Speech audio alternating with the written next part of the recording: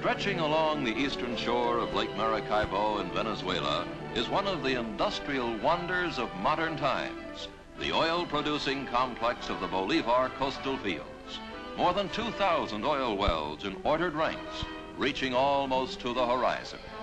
One of the largest known oil deposits in the world, this resource has brought a new life to the people of Venezuela.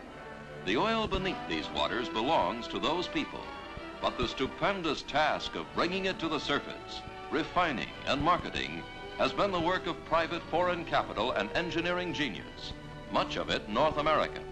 And half that work has been done by one company, Creole Petroleum Corporation.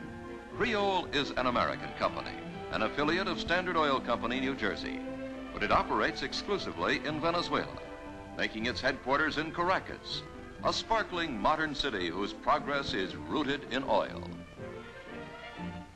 From its Caracas offices, this company conducts its business in the interest of the Venezuelan people, as well as its own stockholders.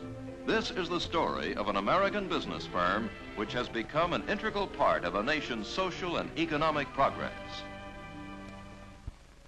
Venezuela is a country of great natural resources but only oil and iron have been tapped on a large scale.